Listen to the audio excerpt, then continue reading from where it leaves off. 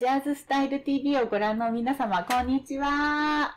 じゃあ、お元気ですか？ですか？はい。あの、梅雨明けをしました。福岡市からお届けしていきたいと思います。あの本日のゲストは、三住玉代法律事務所、えー、三住玉代先生ですあ。りがとうございます。今日もよろしくお願いします。あの、いろんな皆様からリクエストいただいて、あの、先生に、まあ、質問、悩み相談とか、はい。今までやってきていてがとうござい、まあ、それはですね、あの、もちろん相変わらず募集していて、はい。まあ、生活のこと、仕事のこと、自分の人生のこと、ね、家族のこと、いろんなこう相談があればですね、ちょっとね、あの、いただいたらそれについて私たちが、まあ、ああでもない、こうでもないとか いう話をさせていただいているんですけども、実はですね、以前から、あの、三住先生に対しての質問というのがちょこちょこ来てまして、今日、はい。いやいやいやいやいやいやいや、来てまして、それで、あの、それをちょっと今日ですね、あの、ざっくばらんにお話を伺っていこうかなと思ってるんですね。まあます。、ぜひ、あの、今、ご覧いただいている皆さんも、今年の夏やりたいこととか、あの、三住先生に質問とかが、あの、素朴な話とかあれば、と思いますが、あの、気軽にお昼の時間なので、きはい気楽に聞きながらですね、笑っていただければなというふうに思っています。はい。まずですね、質問が来ていたのが、まあ、三住先生が、その、今、まあ、弁護士っていう、その、いわゆるこう社会的な立場とかうん、固い、こう、ね、やっぱり皆さんが目指す、憧れる職業に疲れてるんですけども、まあそれに、その、どうしてその職業を、まあ、あの、目指したかっていう話は以前ですね、うん。お父様の影響もあったり、ご、ご自身の性う格ん。とかうんもあって、あの、目指したという話をまあ聞いたんですけども、はい。まあ、じゃあ目指して、その努力をして、その司法試験に、ね、受かるまでも、やっぱ大変だったと思うんですね。うん。まあ今本当に頑張ってが、ね、頑張ってその司法試験の勉強してる方々もたくさんいらっしゃると思うんですが、はまあそういう方の指導もされていると思うんですけども、うん。あの、実際でも、じゃあなりました。うん。じゃあその、思い通りに相談案件が来るか、とも限らないですし、うん。その相談される方との相性とか、うん。そういう人間関係とかの悩みもあったんじゃないかと思うんですけども、まずこう、先生のこう、他のこう先生について、修行というか、された時のお話ちょっと聞いてもいいですか？まあ、あの、本当にあの、そうですね、まあ、なったのは、はい。もう、まあ、しかし、一言で言えば、せ、せ、本当子供、もう子供っぽいんですけど、正義感ですよね。うんうんうん。まあ、それ、それを父親が見抜いてたっていううーんで、アドバイスが職業、弁護士と。はい。ってことだったんですけど、まあ、自分もその気になって、まあ、勉強してう、ん。それで、あの、まあ、27で司法試験に受かって、それで29で弁護士にならせていただいたときに、はい。あの、働かせていただいた事務所で、はい。まあ、3年間、はい。あの、まさに修行させていうたーだきまん。して、で本ほとんどのその弁護士の先生はそうやって、初めにこうどこかでちょっと修行というかするんですか、まあ、以前はず本当にそういう弁護士が多かったんですけど、うんまあ、今も弁護士が増えて、うんうんうん。最初からもう自分でやってるっていう方もいあ、そうなんだうー大変だん。と思います。最初から自分でやるっていうまあ何でもそうですよね。うんうんやっぱりこう初めちょっと見よう見まね、のは。こう真似ることからね、うん始めたり。やっぱり実務経験がないからですね。うんうんうんうん。そのあたりはいくら勉強して答えはそうだったとしても、実際裁判でどうなるんだろうっていうところはやっぱり、えー実際生身の人間が関わって動いていく手続きですからうね、んハラハラしますよね。そうですよね。だからまあ、私はだからその大手の事務所にお世話になりました。うーんまあそこから、あの一通りいろんな案件をこうご経験されて、で、その自分で独立っていうふうにされていると思うんですが、質問に来てるのが、うん。あの人脈作り。うん。あの、結構、なんか、なんていうの、いや、むなむやみやたらに、あの、人脈人脈っていうのはちょっと違うと思うんですけども、ややっぱりこんな人と出会いたいとか、あの、皆さん、そういう希望ってあると思うんですね。こういうふうな人の話が聞きたいとか、憧れてるとか、そういう、なんかその人脈を作るっていうのに結構やっぱり一般の、あの、女性の方からの質問だったんですが、どうやって人脈を作られているんですかということなんですね。何かその会に所属したりとかもされてるんですか？まあ、会に所属してるといえば、はい。ライオンズクラブうんうんうんうんうん。はお世話になってます。うんうんうんうん。まあ、人脈っていうか、本当にあの、先輩にす、あの、まあ、あの推薦になっていただいて、ライオンズクラブに入らせてもらって、まあ、本当にいろんな職業の方々に知り合って、まあ、お世話になってますけど、それが一番大きいかなとは思いますが、うん。ほとんど忙しくて霊界には顔出してないんですけど、ま あなんかね、やっぱ素そういう、晴らしい方が多いので、そうですよね。はい。まあそういう、まあ趣旨、目的、そのあたりを共感できる方々との会える場に足を運ぶ。じゃないと続かない。あの、うんいろんな会あるじゃないですか。はいねいろいろお誘いありますよね。うんうんうんうんうんやっぱ行ってみて、長く続きそうだなっていうのと、うんうんうんっていうのがあるので、うんうんうんうんまあ、その時の自分のねう、んステージもあるしですそうね。なんですよ。だから、出会ってみないとわからないっていうところはありますけどね。うんまあ、ただ私は実はその、どうなんやっぱりそうやって人脈を増やして紹介してください、紹介してくださいって言っていくのはいいと思いますね。うんうんただ、あの、そ、だから、どんな組織に入っても一緒なんですけど、やっぱり積極的に頭下げて紹介してくださいって言っていく人に紹介してもらえる。うーん。だから、まあ熱意ですよね。だからその場に入ったからって言って、うん。人脈が増えるとは限らないと思いませんか、うんうんあのうんどんだけ素晴らしい会に入ったとしても、はい。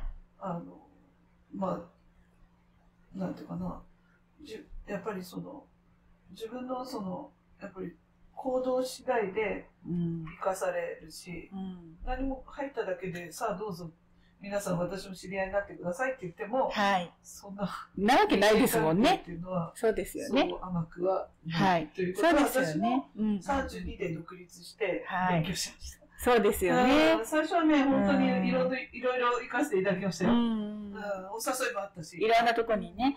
だから、まずは、そのいろんなところに、こう、出向くっていう行動は必要なんじゃないかなとは思うんですよね。チャンスがつかめないですよね。うん。だからやっぱりその、いろんな、まあ、私もですね、基本こう頼まれたりすることっていうのは、こう試され事って言われたりもするので、あの、まあ、自分ができそうなこと、ちょっと背伸びすればできそうなことは、あの、できるだけ、あの、それは受けるようにしてるんですけども、まあ、いろんな、こう、まあ、目的がいろいろあってですね、うん。明らかに自分がこう、嫌なというか、うん好きじゃない目的だったら行く必要はないんですけども、まあ自分の方向と合ってるとか、前向きな内容であれば、まず行動を起こしてみて、で、人間と人間が出会って、うんまあそこから情報も入ってくるわけですから、もし、合わなかったら、うんその、合わないという経験になるしですね。そ。こで、やっぱは。り会う人が分かる経験になるっていうか。そうですよね。うんそこはねそ。こは。うん。重要だったと思います。だからうん私の30代もそんな感じでよく分からず。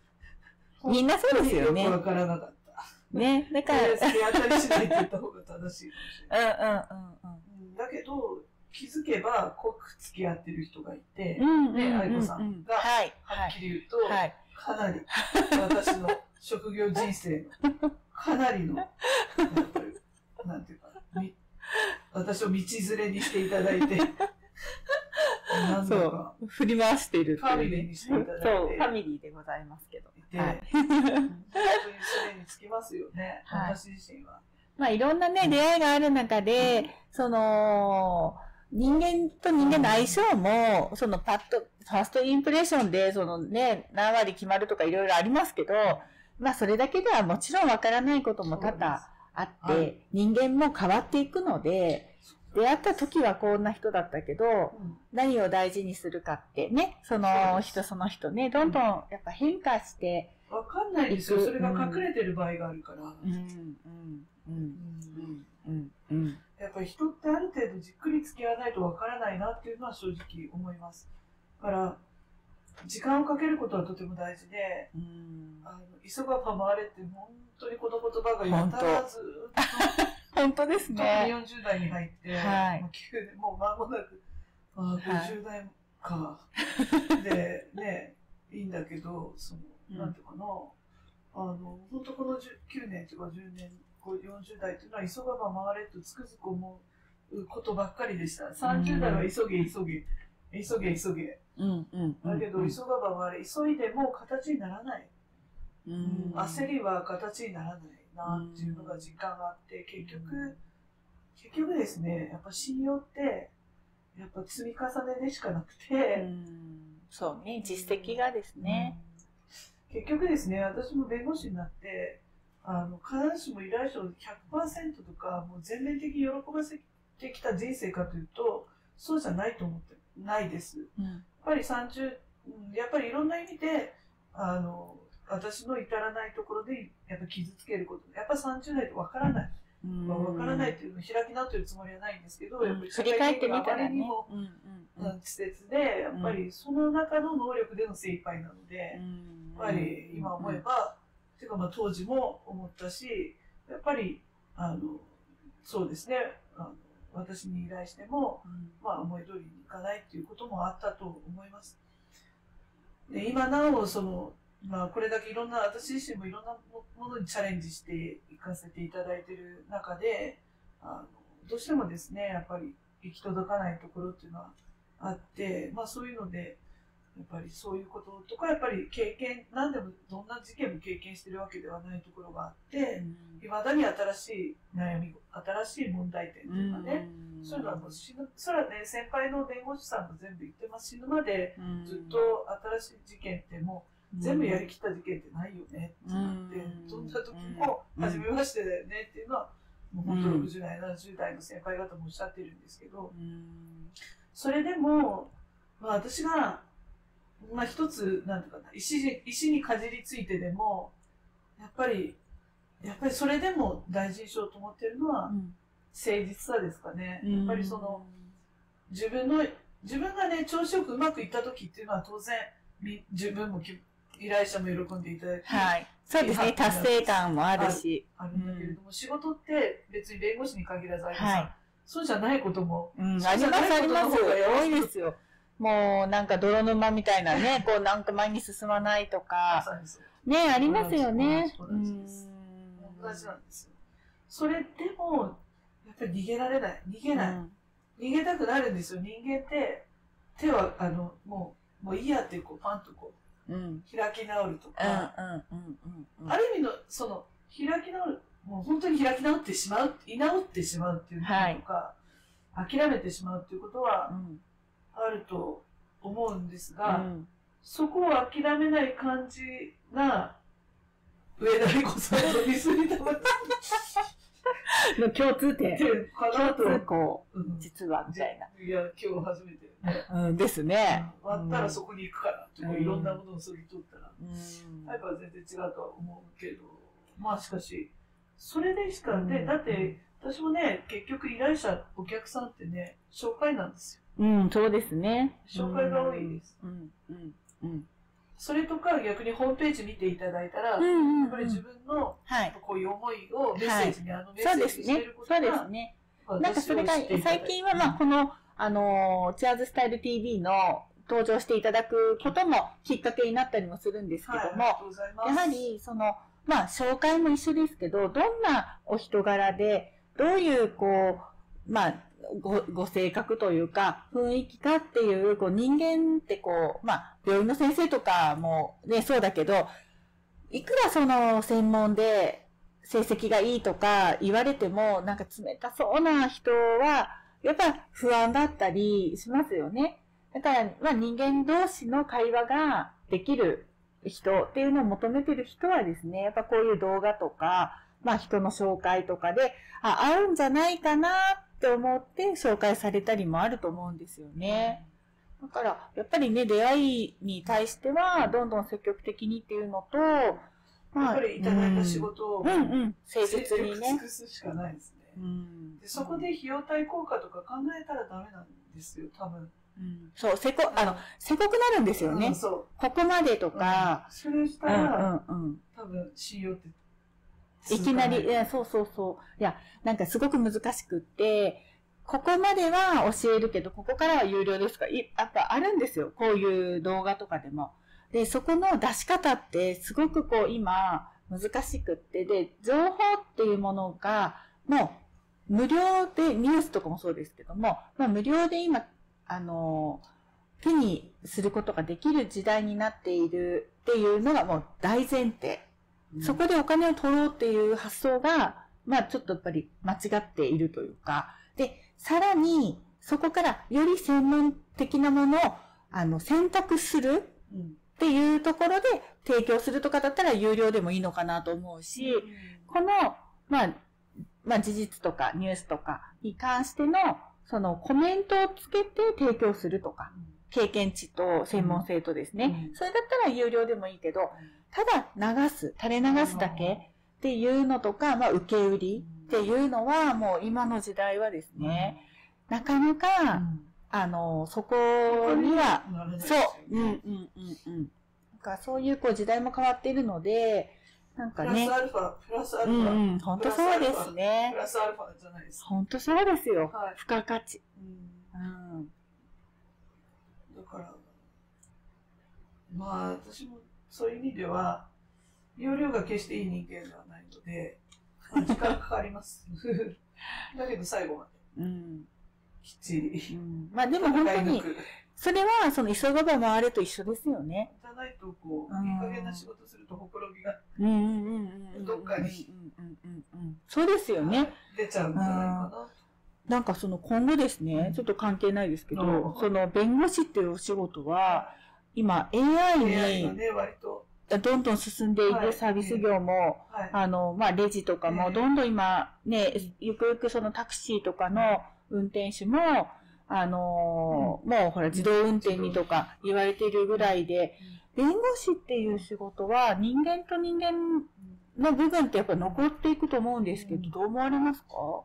うん。残るんじゃないかなと思ってます。うん。ある程度は AI に任せたとしても、うん。やっぱり決断の部分では、うん。決断するのは人間だから、うん。うん。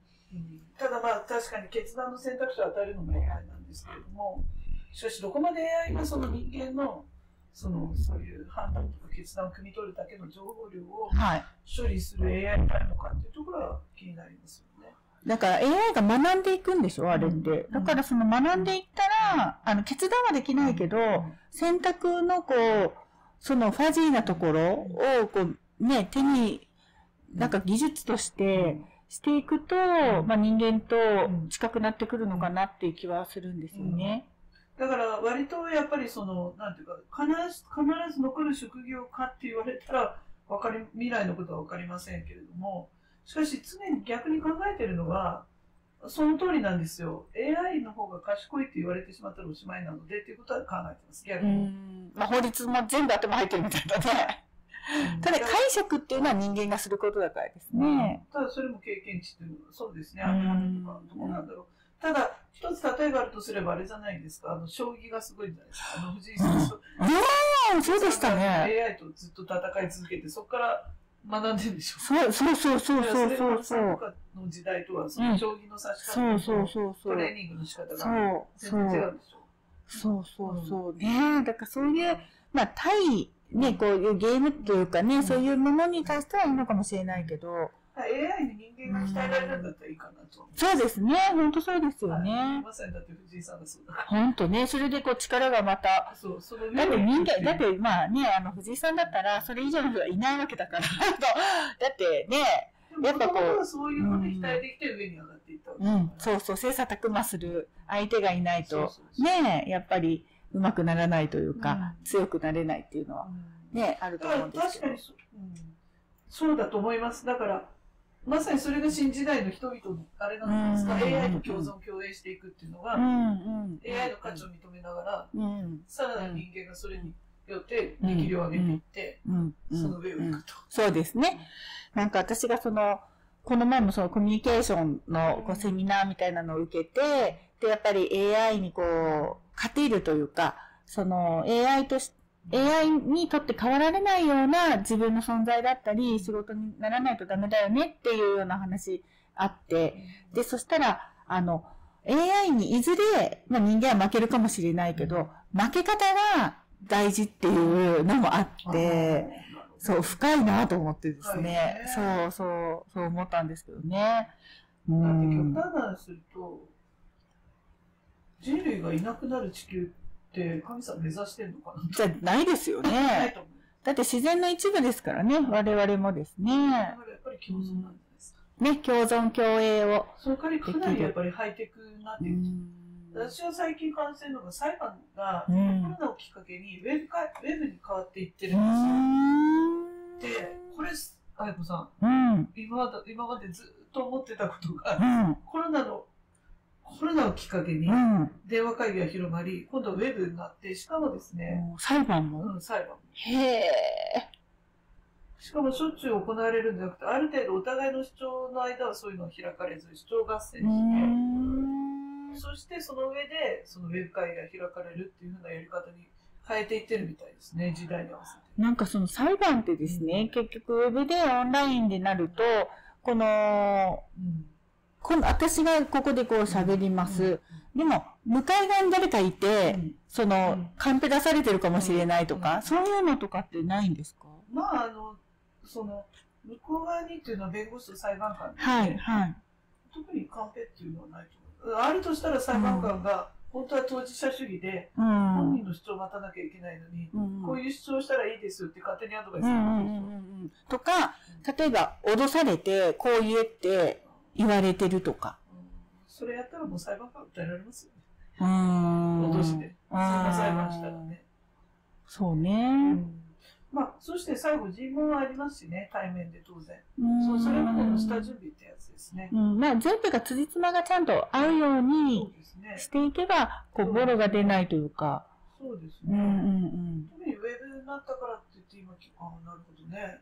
判定出して。まあ、そういうことは逆にウェブじゃなくてもですね、うんうんうん。弁護士を一人ずつ入れれば、うん。何を言ってるかわからないですそうでしょ？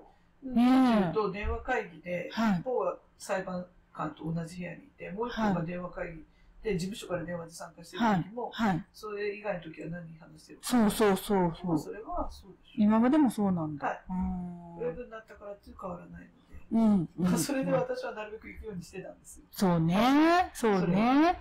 うん。だけど限界もあるよね、て。うん。だけど私はそその先ってどうなるんだと思った時に、あれ裁判が、ああ、裁判も AI の時代になって、裁判官が判か判決変わるすぎ、もう、がは判決はこうなりましたという時代来るなとは思いましたね。い。へえ。本当ですか？だから一緒じゃないのかなと思って弁護士も裁判官もいなくなるとは思わないけれどうも、ん。どんどんデジタル化が進んで、うん。だから、例えば、まあ、10人中3人が生の人間で、7, 7人が AI みたいな、とか？だと思いますよ。そう、う1年、2年でそうなるって言ってるわけじゃないけど、うん30年後、うん。50年後を考えたときに、はい。近未来っていうのは、まさにはい。ドラえもんとか、銀銀河鉄道999とか、だって、空飛ぶ車が出たぐらいですからそうですね。この前映像が流れてたけどね。ねえ。空飛ぶ車なんかでも、私たちのこう小さい時、21世紀って遠い未来と思ってませんでした？思ってましたよ。ね遠い遠い遠い未来と思ってましたし、うん、あったらいいなとは思うけど、ないやろと思ってたし、うん。ねまあ、せいぜい子供の時だったらリニアモーターカーが夢を叶える、うん。ね、あの、とか思ってたけど、ねね、今。いや、でもすごいですよね。まあ、そのね、私たちのその、祖父母の時代とかは、うん飛行機も普段、普通の人はあんまり乗らない。で、その、もっと前の人だったら、海外、そう、海外行くときだって船でしょ？だから、1ヶ月かけてう、んその、渡米みたいな。なんか、そ。の、歴史ので年表とか見てたら、この人たち、いつそのなんかいろんな会議したり、打ち合わせしてこの日本の文明とかを作ってきたんだろうって、こう、本当に、ハテナマークが出るぐらいうんなんですよね。だからその情報はいろんなやり方あったと思うけど、うん今みたいにネットでバンって情報配信される時代じゃないから、うん。うんまあ、それを考えたら、その中で明治維新とかよくやったなと思うし。本当に。うんいや、なんかこう、大隈重信とか、福沢諭吉とかがその大学っていうのを作ったとかいう話も、で、女子大作った人とか、そう、津田梅子さんとかね、こう、その、いう革命を、うん。その、どんどん江戸時代から以降、起こしていった人が、結局昔飛脚で指持って行ったうり、ん。私のその、祖父もやっぱり言ってたんですね。東京に戦後集められた。その時もやっぱり、あの、電車ですよね。電車で行って、で、まあ帰ってくる。で、それでも2、3日かかるっていう中で、その、大分と福岡とかでも、本当に1日かけて、その、来たり、帰ったりしてたのが、まあ、どんどん高速道路ができたり、その、ね、電車も速くなったりっていうので、すごく便利になったっていうのは言ってたんですよね。だから飛行飛行機も乗ったことあるのかなと思うけど、あの、まあ、ね、新幹線でももう十分というか、ような感じだったから、そうね。うん、今とかも本当にね、なんなら移動中に仕事なんかできちゃうっていう、だから結局、うん、昔は、この手紙出したら回答は3日後だよねっていうことで3日間待つ時間があったわけですよね。そうですね。それ今回答がネットでパンってくるわけですよね。そしたらその間が時間がなさすぎてせっつかれるっていう、そのやっぱり情報処理、それからうん事務処理、作業が、ものすごく人間の手に負えないぐらいのスピードになってると思いますね。本当そうですそこが多ね。分 AI になるんだと思います。なるほどあの、で、人間は常にクリエイティブな発想とイマジネーション、これをやったらいいんじゃないかな。ここことこれこれがコラボしたらもっといい仕事ができて、もっと今までない価値が生み出されて、それは人々の生活に役立つし、結果としてはそれがお金になって、あ給料も払えるしっていう、そういうアイデアは多分次々に人々が、経営者が発想していったりして、ただそれをそ実現するにはあまりにもスピードが速すぎて、うん。マンパワーが追いつかない、うん。私正直言うと、うん。私自身も追いついてないんですよ、もううん。ね、もう分かって、ね、本当仕事、こう、雲お待たせねし、てるのとかいろいろあったりして、本当に一個一個と思ってますけどね、うもちろん。ん確かにその情報処理能力っていうのは人間は、その、やっぱり定期的に、例えばまあ、ね、1時間で何万文字処理できるとかではないから、その AI はそうかもしれないけどね、あの、本とか読んでても、何回も同じとこ読んでるけど頭に入ってないとかあるじゃないですか。そね、ねなんかこう、でも、スッと入ってくるものもあるし、う。飛び込んでくる文字があったり、こう、不思議な現象ってありますよあね。よ。人間独特のね。だから、やっぱ効率だけっていうのは難しいですよね。疲弊しますしね。いや、だから、私は、未来は、それは人がやらないことになるん。だ。うん、うん。なるほどね。で、その時間要約して。その時間はみん。ながお茶うん。で、、うん、うん。美味しい食事したり、芸術を楽しん。だり、うん。豊かになるん。じゃないかなっうん、うん、うん、うん、うん、うん。て本気で思ってます。うん、うん。人間は人間の、人間だからで楽しめる、まあ世界というか、そういうところに時間を費やせるように、多分ね、うん IT の人たちそう信じてると思います。んそう思って IT 化してるんでしょう、技術化とか。うんつまり、やっぱり人々の、大体、ほら、家電製品って、はいもともと家事を楽にっていうそうところだったとですね思うん。ですよ。はい。松下幸之助も女性の家事を楽にして、やっぱり社会進出にと思って、はい。あの洗濯機作ったりとうん、か、うん、うん、うん。電化製品って本当に家事がそれで割とかなり、うんどう考えても昔一日仕事だったそうですよ。洗濯もね、ボタン一つですからね。そううん。ご飯炊くのうも、ん、本当よ。しなくて。もしあいこさんまだに。本当よ。もう本当そうですよ。巻き割って、巻き割ってね。あ、もしかして巻きキャンプ巻きから割ってるタイプですか？キャンピング、なんなら米から育ててますかみたいな。本当そんな感じですよそんな時ね。間ないわ。ないわ、みたいな。本当ね。だから、もう、だって今無洗米があったりもするからい。や、だから、家事を楽にしたことによって生み出された時間っていうのがあって、それがやっぱり女性の社社会進出を促したことは間違いないと思うんですよね。うん、そうですね。うん。で、その時のやっぱり技術革新って多いじゃない大きいじゃないですか明治維新のうん明治産維新の時のやっぱりイギリスから来たそういう産業あのうん分娩はい。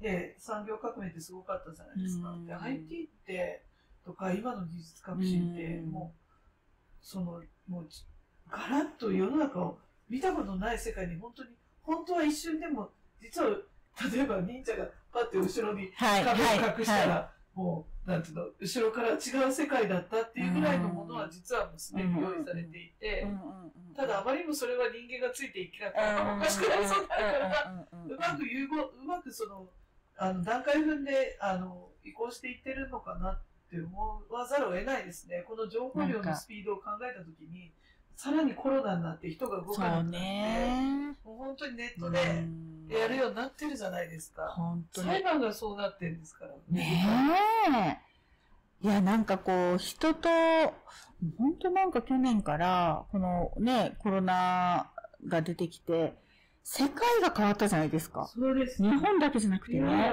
世界も日本も全部全部世界中がね、で1年間、ね、もう1年以上こんな状況でですよ。なんかこう、またこう、新たな価値っていうのが生まれましたようね。んオンラインの便利、利便性も感じるっていうこともみんな上手になってきたし、それで、まあ、おあの片付く仕事もたくさん見つけ出してきたと。でも、やはり会って、その、ね、前に進むっていう、会うということの価値っていうのも増幅されてますし、まあやっぱり医療とかサービス業の方々は、やっぱり接客っていうところのまた新たな価値。うんで、やっぱり今、あの、うんそういうそうそう。助けがね、た助けが必要な方もやっぱりいらっしゃるのも事実だからですね。うん。だから私も本当にあのややっぱ融合していくのがいいと思います。あの一つの仕事だけじゃなくていろんな人といろんな価値を生み出すことを常にしかもそのいろんな人っていうのはできれば変わった方がよくてベースはあったとしてもそのコラボしていくものは。常にか刷新していった方がより新しいものが生まれ生み出される。うん、だからうんあのなんていう人脈作りって考えないであのやっぱり自分の仕事を知ってもらう。それがもしかしたら相手にとってうん。融合するととてつもないもの価値を生み出して、それが人々の生活に役に立ち、うん。あるいは生活っていうか、まあ、やっぱり人々の心芸術文化を高める豊かさ精神的豊かさを高めるものになったりとか、うんうん。まあそういうものにつながるかもしれないという意味で出会っていく努力をするとうん。やっぱり単に人脈を作るっていうのはあまりに目的がなあの分かりにくすぎて相手も絡みにくい、うん。だけど自分というものは今こういうものをしようとし,、うん。していてもしそれがおたくさんにとってもうん。なんか社会にとって社会にもね。とっても、うんうん。なんか融合して新たなものを生み出すきっかけになるんだったらどうですかっていう感じでうん。いろんな人に一人一人一生懸命会って、あの自分がこういうふうに一生懸命やってるんだってことを説明していくと、目的がしっかりしてるし、あのある意味な正々堂々としているし、うん。向こうも分かりやすい。うん。あのなんか、うん。単にノリで来たとかそうですね。じゃなくてうん。浅いのじゃなくてね。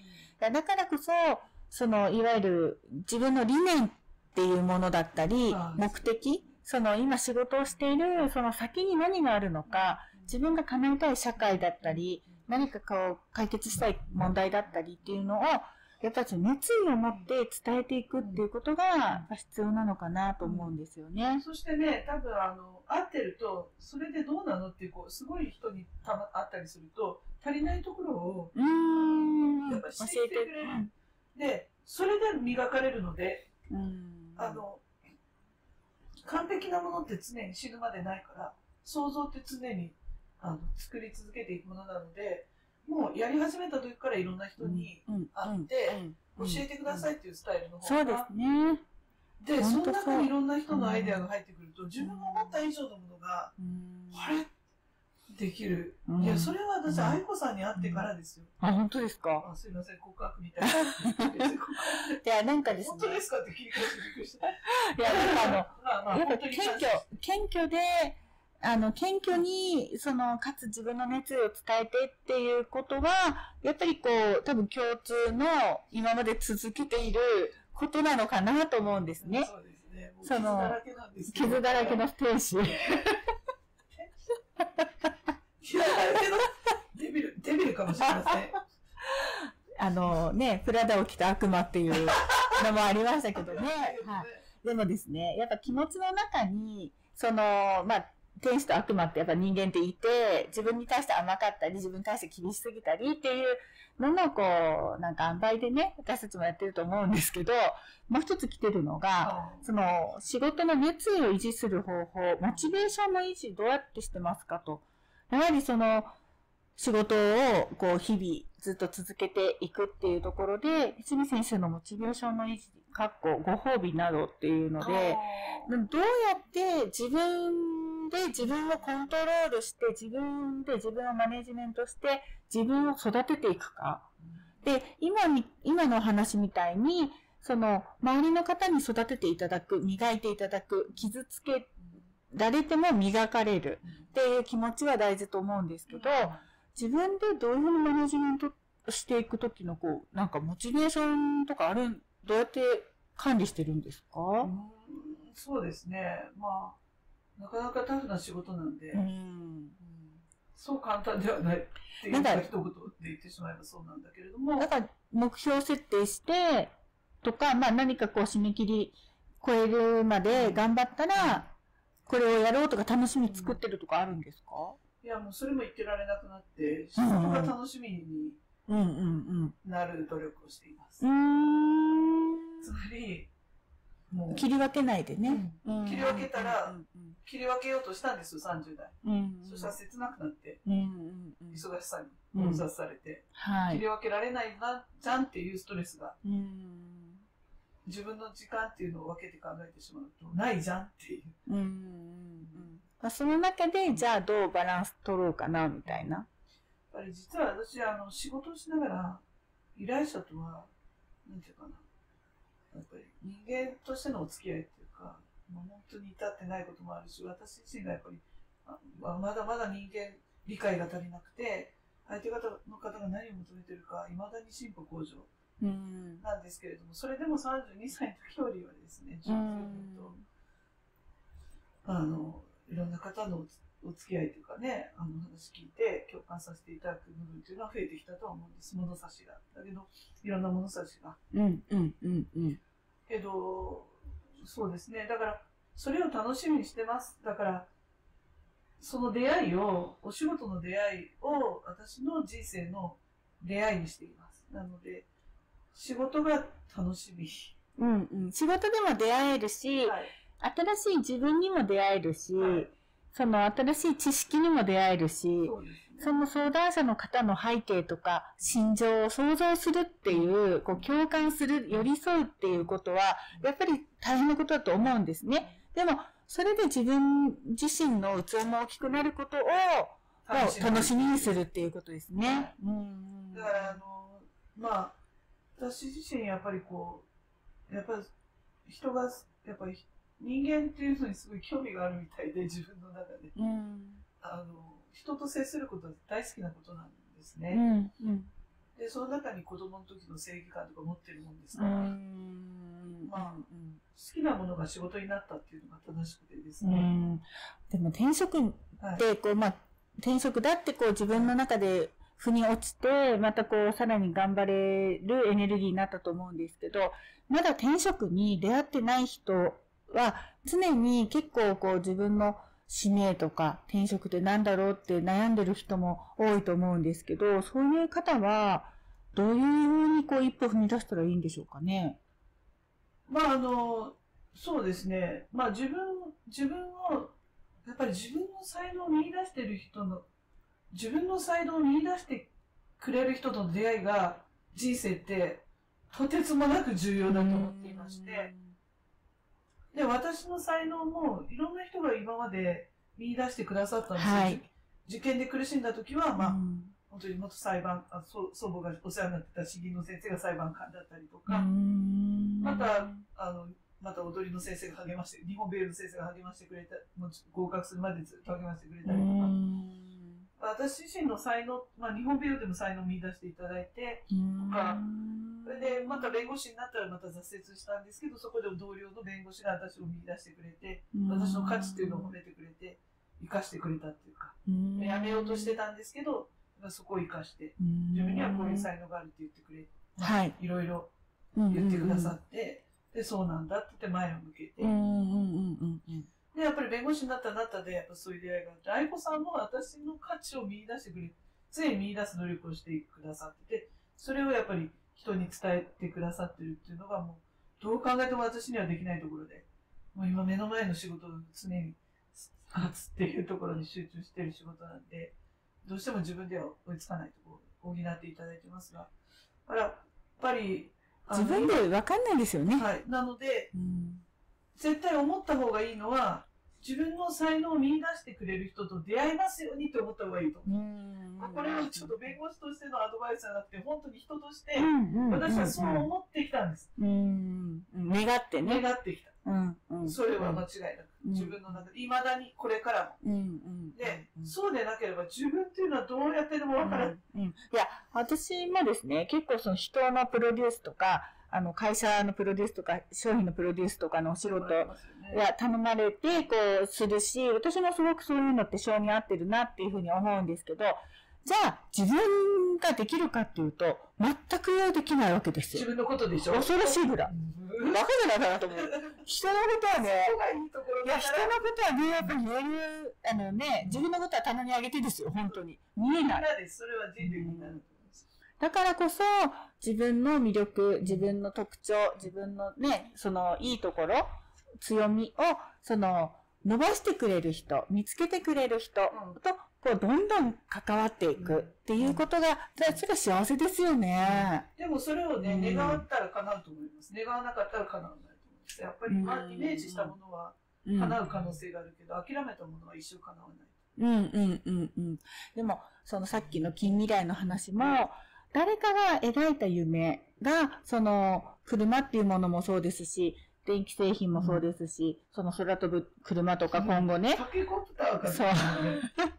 そう、今後ね、いろんなもの、ロボットもそうですよね。なんかその、誰かが、その漫画家かもしれないし、そのね、エンジニアかもしれないけど、誰かがあったらいいなってこう、想像したものっていうのは必ず何か、その形になってくるんだなと思ったんですね。やっぱ人間が想像するものって、こううん。何か、またね、いろんな力が集まって結集しうんて、何か一歩進んでいくんでしょうね。うんだって結構さ、あの、あれ、トム・クルーズのミッション・インポッシブルでうん刺激受けたよね。もうかんセンサーだけで全部操る。そう。ああれもすごいと思ったけど、今できるでしょ。そう。だから、うんうんああいうなんかこうよくわかんないけどね、うんこういろいろメガネとかでこう見えるとか、ドローンとかもそうだけど、なんかこうやっぱ人間が発想する範疇っていうのがまあこれからどんどんまた広がるのかもしれないですけども、やっぱりその発想するものっていうものは何かその手に入れられる可能性があるっていうことなのかなとも思うんですよね。いや、そう信じ、なんかそういう夢を与えてくれてますよね。もう、なんか、マジでこればっかり言って申し訳ないけど、空飛ぶ飛行機は結構好きです。空飛ぶ車車は夢です。だから、ねえ交通ルールをまた作んないといけでないから。もあれもそうだよね。そうじゃなくても JR のああいう観光列車もうん夢だよね。今すごい発想して JR 九州から始まったじゃないですか。うんな七つ星列そ車からうね。始まって、そはいれがはい。全国の JR に波及して。美味しいのが食べれるようなとそういうかね。とこそう、一日だけの観光列車とか、うんデザートだけのとかいっぱいあるよね。はい。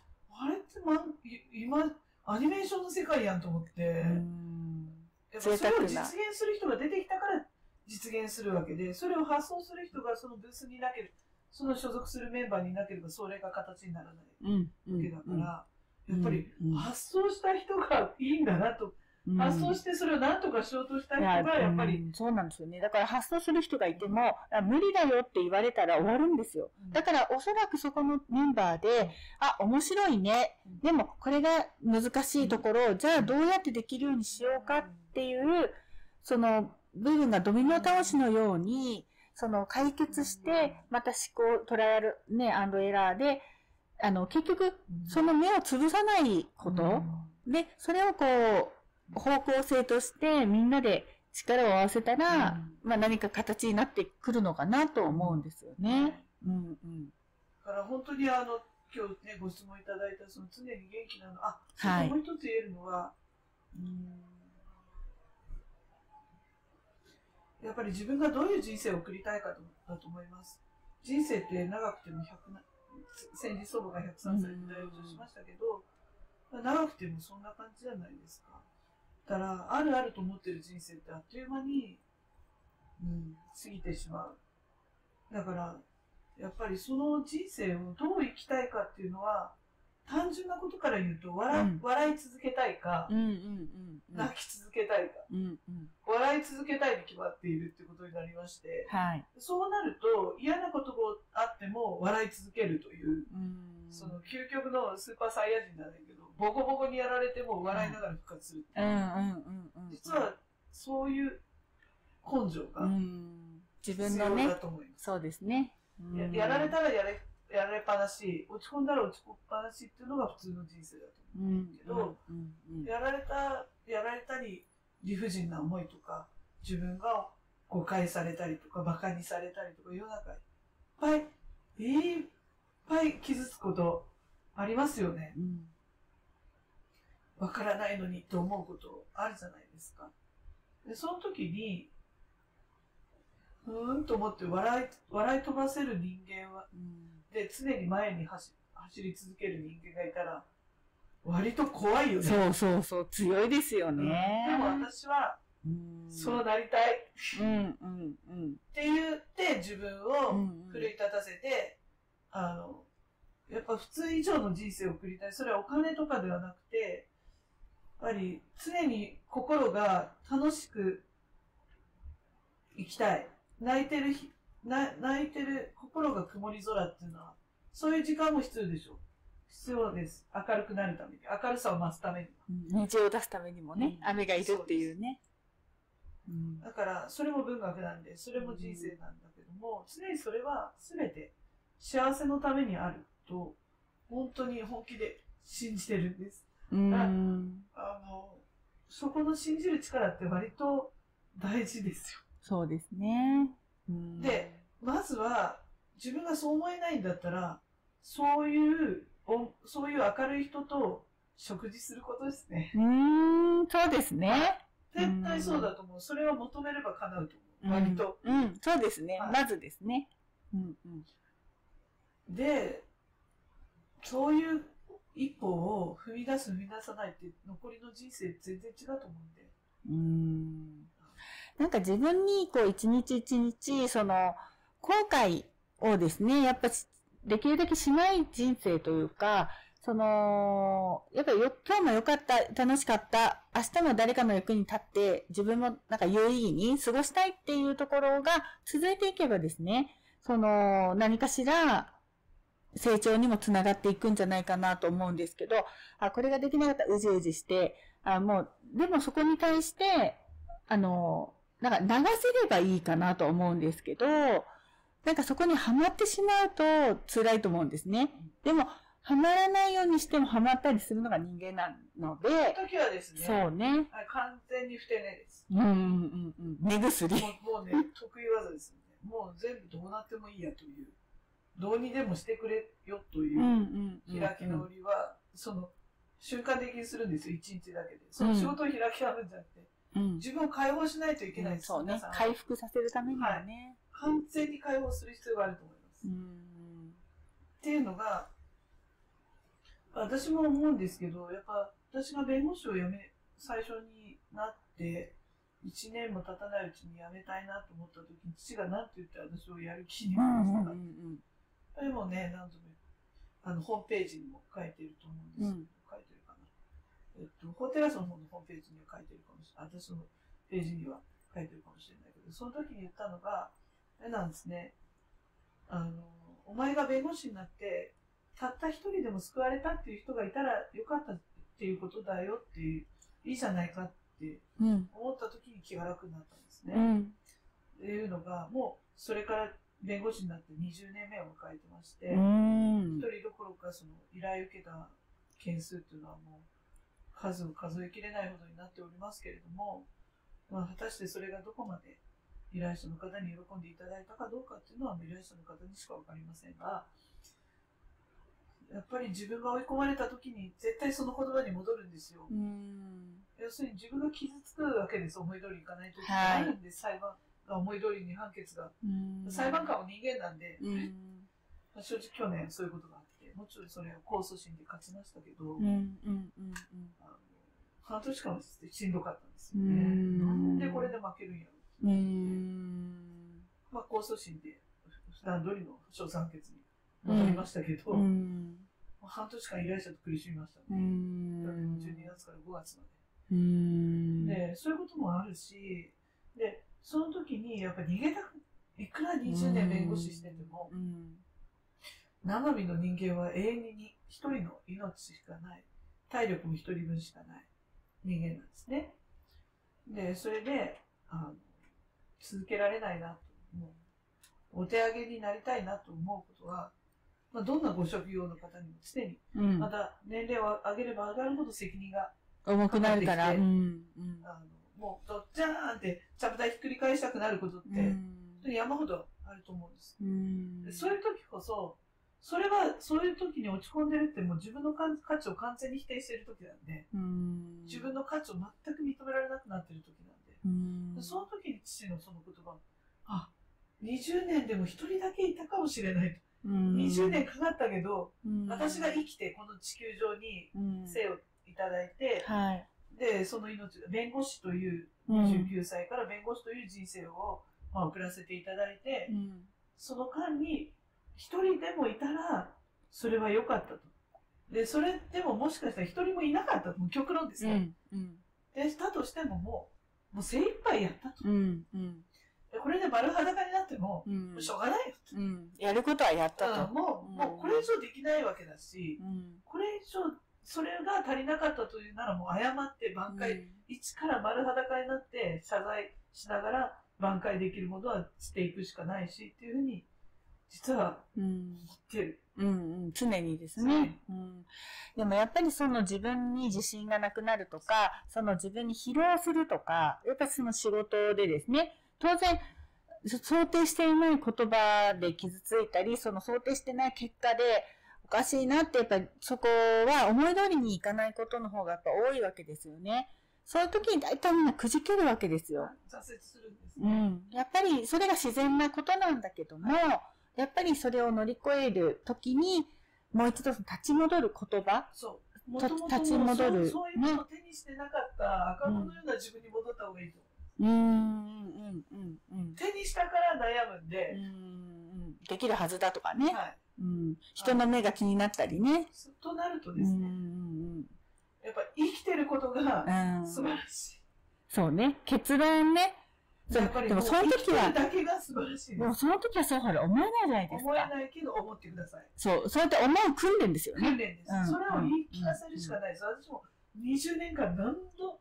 自分に、うん何回も自分に言い聞かせて、うん。たった一人でもいたらいから、いいじゃんって、頑張ってるじゃんって。そう、許してくださる間弁護し続ける。うん。うん。うん。うん。これでやれる間、うん。させてもらおう。うん。いうふうにうん。もう一回頑張ろう。結局、人間って挫折した時に、もう一回頑張ろうっていうエネルギーが湧き立てば、うん。また進めるからいいじゃないですか。はい。で、そのもう一回頑張ろうっていう気持ちになるためには、あるやっぱり一つの言葉とか一つの目標を自分に何度も何度も言い聞かせない。でも一番大事なことは、やっぱり、まあ、つくづく思いますけど、命がこの世にあることのうん。凄さ、うん。素晴らしさうん。で、あの、生きてると本当に自分は無能だと思わされることもあってもですね、うん。しかし生きてる、生きてるだけでうん。素晴らしい。うん。人をね、うん。人を元気づけることができる笑顔で。うん。もともとですね、私たちって、まあ生まれた赤ちゃんの頃、赤ちゃんってよくわからないけど笑ったりするじゃないですか。分かってないけどね。でもそれで、周りの人はみんな、あ、笑った笑ったって言って、みんながまた笑顔になってたわけですね。だから本当はそういう存在で、人間に、まあ、あの、ね、もらってる能力に笑顔っていうのがあるから、例えば仕事ができなくても、笑顔をね、人に、笑顔で人に気持ちを伝えようとか、この相手を明るくさせようっていうことからもう一回やり直してもいいわけですもんね。うんだってムスッとして仕事ができる人よりはいいと思います。よねえ、それそうですよね。いや、で意外と笑顔になってる、あの、ズームとかでも思うんですけど、あの、結構無表情で、あの、な自なんていうの？多分ね、そういう人たちはね、意識はしてないよね。そう。無表情なんですけど、やっぱ、本当にあれって軽いいじめなんですよね。こう、なんかこう、話してるんだけど、そう、話してるんだけど、いや、本当あの、地蔵って言われるらしいんですけどね、そういうのね。だけど、やっぱそういう、こう、気持ちとして、うなずくとか、笑うとか、あの、声は出さなくても、そういう、こう、コミュニケーションを取る訓練を、まあ、やっていくとですね、その、自分自身にも鏡に向かってでもできるようになるので、なんか、まあでもみんなくじけるもんだから、常にね、その挫折しても、だまあその人によってですね、その、モチベーションを上げるご褒美っていろいろあっていいと思うんですよ。そうですよ、旅行とかね。うん。旅行とかか。そうそうそうそう、食べ、食べに行くとか、ね、あの。うんうん。何かそういうものはあって全然いいと思うし、うんそうですね、私もうんまあね、お茶しますよ。うんうんうんうん。ゆっくりね。ゆっくりね。なんかそういう、こう、なんか楽しみも、まあ、中に入れながら、だけど、やっぱり、ちゃんとね、お仕事なり、自分のこう、使命を、こう何か世の中に、あの、役に立てるっていうような気持ちを持つっていうのが、なんか大事なのかなとか思ったりはするんですけどね。でもうん。でも極論はやっぱり、あの、極論というか、思うのは、仕事は仕事と思うからストレスだから、あの、なんていうか、人生ってでもほとんど一日の半分以上が仕事なんで、それがストレスになってしまったら、せっかくわーって歓迎され、わーって生まれて、ね、あの、命をこの世に誕生させてもらって、さ、生まれた人間の命が、その、なんていうのかな。もっと有益にストね。レスで、そうよねったっていう結果になると思いますから、それはいけないと思いますね。うんそれは罪作りですねうん。やっぱり仕事に菩薩されるために、うん。神は人をこの世に誕生させたとは思ってないから、まあ仕事を通じて、磨き、ね自己実現してね。人を豊かにし、結果として自分に帰ってきて、だからそういうのができればね、だから好きになる努力っていりますよ。うんうんうんで、もう一回言いますけど、極端な話、どんなトラブルがあってる状態でも楽しいって異次元の境地。これは私もチャレンジしてるんですよ、今。難しい。やれない。いや、でも、スポーツ選手もそうらしいですよ。うん、いや、メンタルですからうんね、維持って結局やり貫くって、うん挫折やもんね、うんほとんどそう、ほ。とんど挫折。いや、もうみんなそうですよ。思い通りいかない。怪我する。ね、気分が乗らない。ね、相手の評価が出ない。記録が出ない。ね、こう、いろいろあるんですよね。だけど、まあ、そう、メンタルのね、そこで乗り越えていく。で、なんでそれをするかっていうと、やっぱり自分の自己実現、自己成長っていうことで、その仕事を通じて、こう、世の中を良くするとか、自分を良くするっていうことを、やっぱこう、目指し続けないといけないんですよね。ね結局ね、社会にいると。だから、まあ、もし、その何か、愚痴りたくなったり、その挫折があったり、自分でこう思い通りいかないとかがあれば、あの、なんか、メッセージいただいたらですね、もう一緒に、なんかね、誰か知らないけど、その人が悪いとか一緒に言いますから。はいそれは大事よね。人に言ってもらうって。自分で言えないところ、人がぼかすから言うっていう。そ割と、う。うん、それで励まされますもん割ねと。私も掘りそうなんで、うん代わりにボロかす、うんそうでしょ？それでみんなこう、ちょっと元気になるでしょ？自分が言うに言えない言葉をこっちが向き、うん気持ちいいぐらい整理して単語にして。パンチ力ある言葉にさらに何倍にも増幅して言うから。そう、そう。やっぱり、そういうね、こう、やっぱり、なんかみんな人間関係って、の中で生きてるから、これを言うと傷つけるとか、これ言ったら私なんかね、あのーすごい品のない人に思われるとか、いろいろあると思うんですけど、その第三者が見て、いやもうそれめっちゃひどいやんっていうようなことだったら、ちょっとほっとするっていうか、あ、やっぱそうだよねって思うのは人間のね、心理にあるので、もうなんかね、文句があったら、なんかもうぜひそれを書き殴って、まあそれも、それだけでもスッキリすると思うし、あの、私たちに届けていただいたら、あの、みんな味方としてお話ししますので、なんかね、もしなんか不安不安なこととかがあれば、このチアーズスタイル TV に、あの、お便りいただければなと思います。まあ、真面目なその仕事の話とか悩みとかももちろん募集しますけども、はい。ね、私自身もね、一人の女性として等身大で社会でどう生き延びていくかっていう、うん。もがいてますから。お互いね、こうそう知識の共有、交換して、情報交換して、共有していければいいかなと思いますけどね。お互いがいい融合で、いい価値を生み出せれうん。いや、融合は大事っていうのと、今日ね。そういう、こう、もう一回立ち戻る。そうう。ん。って生きいうててよかった。命があるだけで漫才と思ってくださいよ。まあね。本当このコロナ禍で自殺者が増えてることそうはすごく嫌です。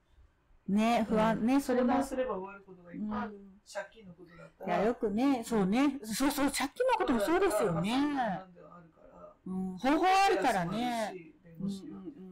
方法はある。うん方法はあるから、まあ、一人で抱え、もったいない。うん、組まないようにしましょはい。う。うん、とそれでギリギリまでね、あの、病気と一緒でギリギリまでほったらかさないように、ちっちゃなうちからですね、あの、早期解決を、あの、していった方がいいんじゃないかなと思いますので、まあね、やっとこう、梅雨も明けて、そうですね。ここからこう、まあ、今、福岡はね、ね、ですよ向ね。かって、秋まで向かっていくと思うんで。はい。まあね、今、ゲリラ豪雨とか本当すごいそう。ね、ちょっと怖い。環境変わったなって本当に思ってますけどね。うんね思うけど、まあなんかそういうこう気持ちを切り替えて、あのー今までがね、ちょっと閉塞的な時期が長かったかそうらで、すよね、お互い。う本当ん、に。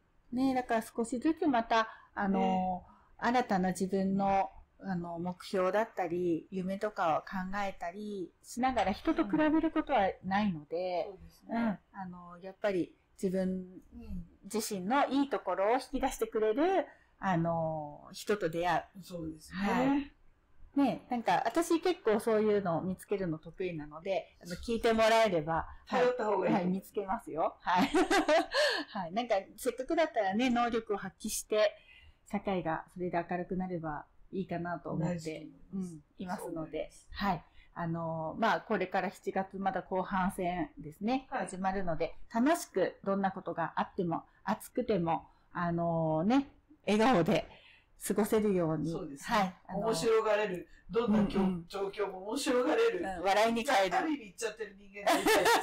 そうですね。そうすることが周りをまたこうハッピーにするから、ううんでもそれが情熱かな。無理やりでも明るくし続けるのが情熱かな。うん情熱の根源と言われたら。あそうですね、うん周りを明るくするっていう自分が、は自分自らがですい。ね。せめてと思ってますう。んうん無能でもせめて明るくだけはと思ってうんうんうんいや、すごい大事なことだと思います。あはい。本当ます。に。い力説してしまいまや、しょう本。当に。だから私そういうねも最後の。砦と思ってます。はい。もう最高ですからね。ね はい。満点、笑顔満点でですね。はい。あの、過ごしていきたいと思います。また、あの、いろいろ質問とかもお待ちしていますので、えーぜひぜひご覧いただきたいと思います。はい。今日もお付き合いいただいてありがとうございました。三角玉代先生もありがとうございました。はい。楽しい話でしたね。じゃあ午後もあの素敵な一日をお過ごしください。Have a nice day! ありがとうございました。